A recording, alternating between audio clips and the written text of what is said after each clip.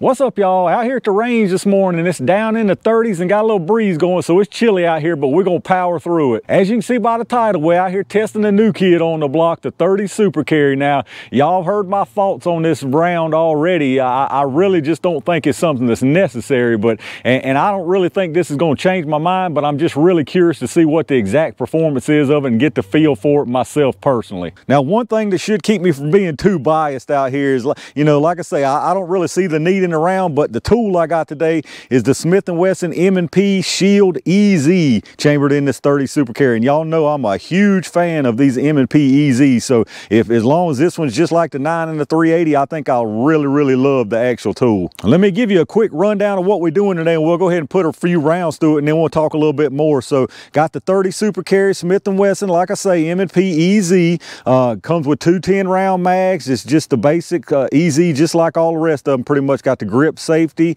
Uh, this one does have a manual thumb safety, very easy to rack, very easy to load. You know, everything about it is easy, hence the name Easy. Uh, three and a half inch barrel, just like the rest of them. Now, as far as the ammo, the 30 Super Carry, we're running 100 grain, just some FMJ, some Federal 30 Super Carry FMJ 100 grainers out of it. What my plan is today is just to run some rounds through it, test the function of it as always, get a feel for it, uh, and then I'm gonna do a little bit of comparison with the 9 and the 380 version. Now, the 9 I've got is exactly exactly the same. I mean, it's a, it's a standard version of it. Uh, no fanciness whatsoever. Three and a half inch barrel, just like the, the, the uh, 30 Super Carry. The 380 is a little bit different, being that it's a performance center. It's got a different trigger and, and a little different uh, grip safety on the back, different sights. So some cosmetic and, and quality of life differences. And it does have like not quite a quarter of an inch extra of a ported on the end of the barrel, which some people may say, well, that's not fair. That's going to alter the recoil. But let's let's be honest, it's a 380. You're not going to have much recoil anyway. And that little tiny bit of port ain't doing much. I'm just going to be honest with you. But the ammo we're going to run out of these, the 9 is going to be the 115 grain, just regular Blazer full metal jacket. And then the 380 is going to be a 95 grain Aguila full metal jacket. So more common rounds, I, I would say arguably 115 is probably the most common full metal jacket round used in 9. 95 the most common in 380. So I figured I'd use the most common weights of uh, projectiles in all of them. Also brought my chrono out. I'm not going to do any gel testing on this particular video, but the gel test between the 9 and the 380 against the Super Carry is going to be coming very shortly right after this one. But I am going to get just a little bit of chrono readings on all of them today, just see what kind of speeds they're running. Enough of that chit chat for right this second. Let me load up a couple mags in the Super Carry. Let's just test it out make sure it actually runs. All right, y'all, got us a couple mags loaded up. Uh, like I said, I'm just going to plink on some steel, test the function of it first thing. This, uh, if y'all not familiar, this middle blue silhouette, that's exactly 10 yards from where I'm standing here. The little two 10 inch rounds on the sides are somewhere around 14, 15. They're not exactly measured. Uh, but then the pink silhouette out there, that's 25 yards exactly measured off from here. Uh, so I probably, I probably won't go any further than that 25 yards out here today with it just to make sure, you know, it, the, the thing's running right and it ain't me acting foolish out there missing or something. So one thing I did want to mention to you right quick is I'm using some new ear pro out here today. I'm using the Axil GS Extremes electronic earbuds. The folks over at Axil sent these out to me to test out and give them my opinion on it. So I'm going to be trying these out. I'm not going to go into any kind of great detail. So uh, I want to use them for a few different outings out here. And that way I'll do a review video and give y'all my honest opinion on it, whether I like them or not. But uh, I'll, I will leave some links down in the description if you already know you want them. If I mention something out here today where you can get some pretty big discounts on them down there. So well, let's get to the business's hand out here. Let's see if we can put some of these on some steel down there. First shots from the 30 Super Carry. I'll start out here at the 10 yarder, see what we can get. All right.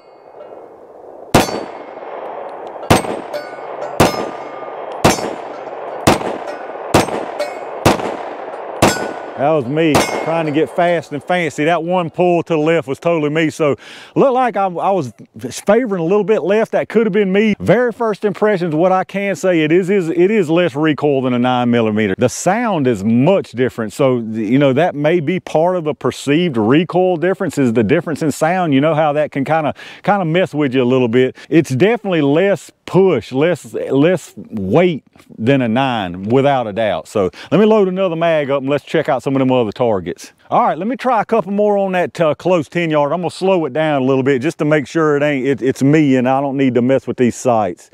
Let's see what we get, y'all. Yeah, okay, I think it's just me earlier.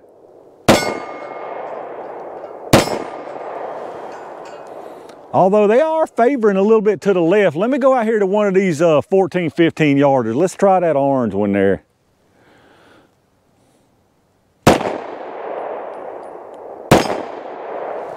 There we go. I think it is just me goofing up out here. I got to get used to these sights again. They're a little bit different than that uh, that performance center for sure that I've been using. So let me try the blue one down there. No. There we go. I'm a little bit low. I'm favoring a little bit low on it, so I got to figure my aim out. Let me see if I can press my luck out there at the 25.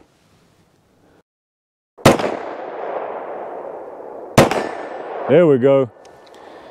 Does seem like it's favoring left a little bit, but that could be just me, but let's do some more testing on this thing. All right, y'all, let's look at a few differences between this 30 Super Carry, the 9, and the 380. So, like I say, all these are the, the Smith & Wesson Shield M&P EZs. As far as the ammo here, I didn't, I forgot my daggone calipers at the house, so I can't give you exact measurements, but I'll try to put some info in some inset close-up pictures over in here. Uh, but you'll see from left to right, the 30 Super Carry, the 9, and the 380.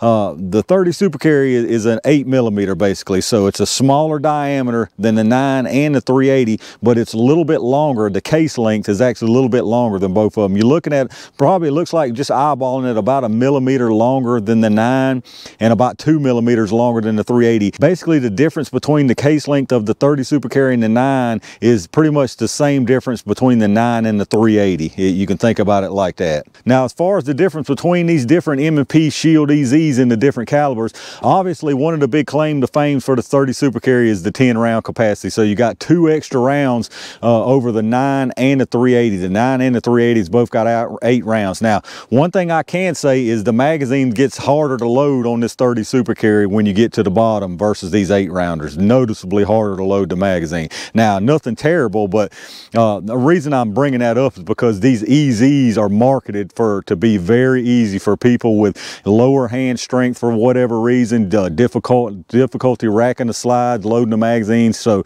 uh, that that's something that I would say is pretty important if you're looking at one of these EZs. So a little bit harder to, to load that magazine when you get to the end, but you do have the two extra rounds. Now, as far as the slide racking on them, I can just tell you right now, uh, just from my feel on it, the 30 Super Carry is actually harder to rack than the 9. Not much, and it may be because I've worn in this 9 some that makes it a little bit lighter. They're right there close, but it is noticeably harder to rack this 30 Super Carry than it is the 9. So take that for what it's worth. Now, as far as the 380, uh, there's no question. The 380 is like a feather. It's way, way uh, harder to rack this. None of them's harder. Now, this, don't get me wrong, this is not a hard slide to rack, but if you want the easiest possible, uh, the 30 Super Carry is heavier than both of these as far as racking the slide. Now, size-wise on them, um, without my calipers, these are exactly the same. The 30 Super Carry and the, the 9 millimeter are exactly the same. The, the, the uh, slide is exactly the same width, exactly the same length. It looks like the exact same tool if you were to look at them from above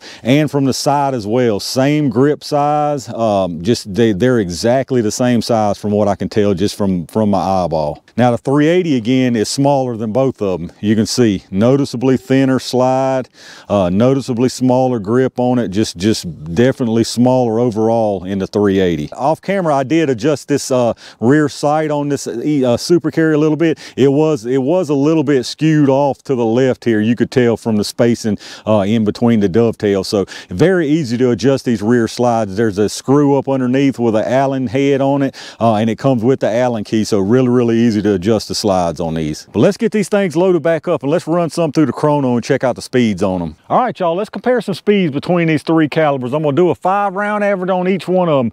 Uh, I did just notice something else too that I wanna, I'm gonna mention here after we get done with this that's kind of sneaky, but I'll show y'all in a second here. So let's try out the speeds on these. We're gonna start out with the 30 Super Carry.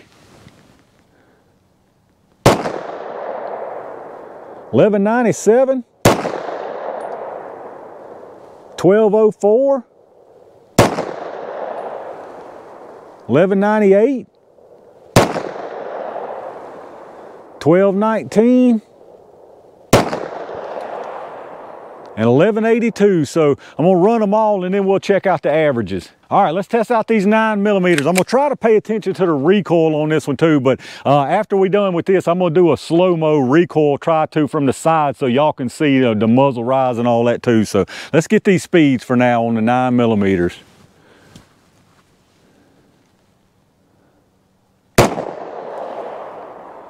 Ten sixty five.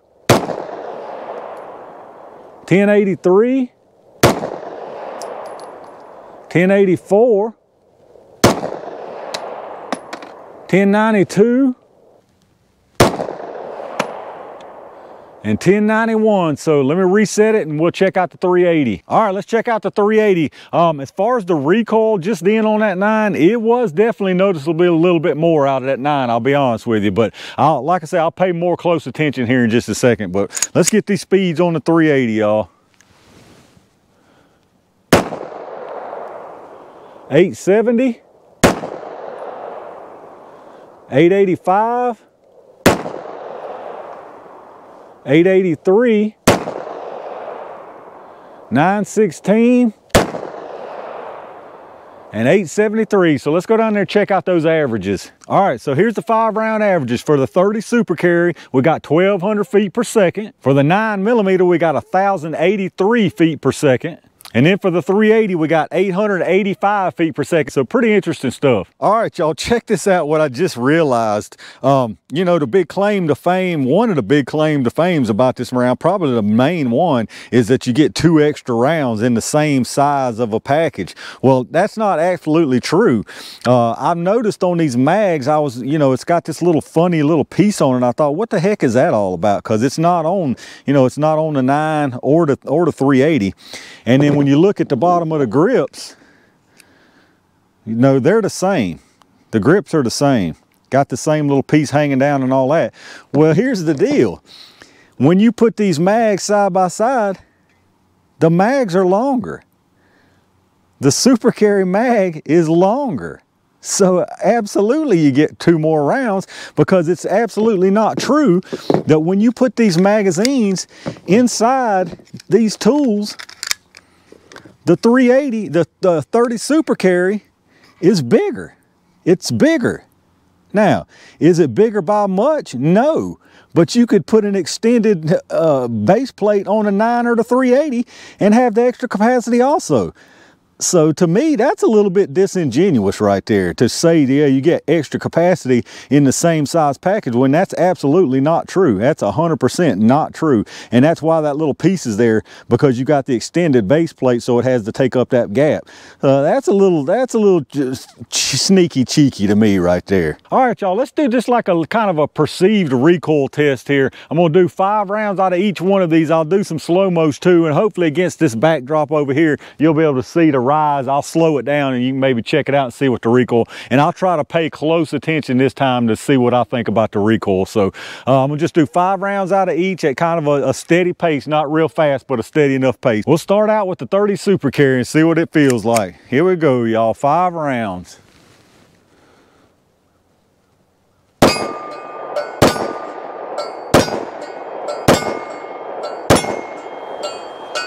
All right, not bad, not bad. I got that, that sight definitely fixed up and lined up a lot better. I'm, I was aiming a little bit high, but it's pretty much, the wind is just right on. So let's try out the nine millimeter now. All right, here we go with the nine millimeter. Same thing, five rounds. I'm gonna try to keep about the same pace on it too. Here we go, y'all.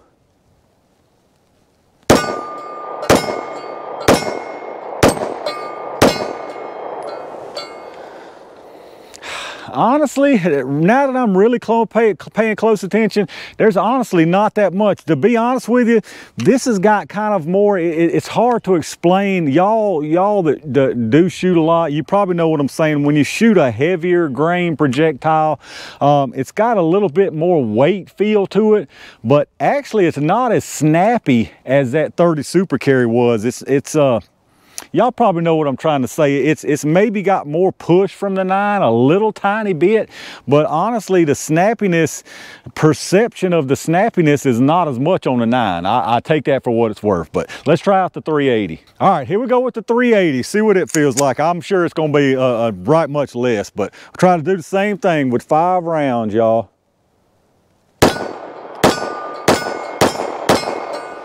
Oh yeah, I mean, there's absolutely no question on that. I could, I could speed run this thing, no problem. All hits on target.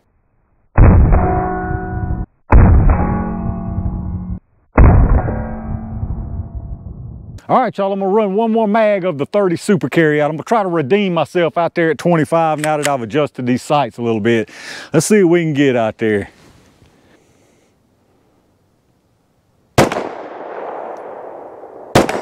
There we go. Ah.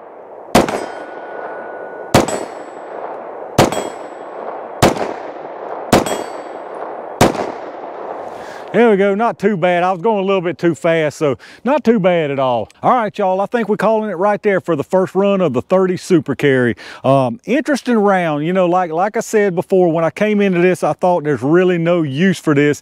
And and to be honest, I, I really still think there's just, I mean, it, it really, we really didn't need this caliber. I mean, honestly, you really didn't need this caliber.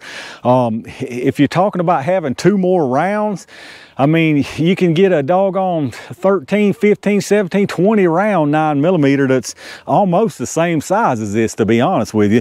And, and to me, that little whole extended magazine base plate thing, that's sneaky because even when you compare the exact same uh, tool here, the 30 Super Carry versus the nine in this EZ, it's bigger. It's not much bigger, but it's bigger. So of course there's more capacity now. And that was their big claim to fame as far as one of the claim to fames on this caliber was more capacity in the same size package. And, and that's just simply not true. Now it's close, but we all know what close counts in horseshoes and hand grenades. And, and this ain't either one of them. Maybe I'm making too big of a deal out of that, but I mean, like I say, I'm trying to find the purpose for this round.